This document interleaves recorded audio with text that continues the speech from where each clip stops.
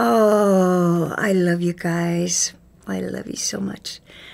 And I think about you all every single day. I hope for you, pray for you, all good. And uh, I went to Vietnam 66 and 68. Hi, guys. all of you are my gentlemen, my guys, And your ladies.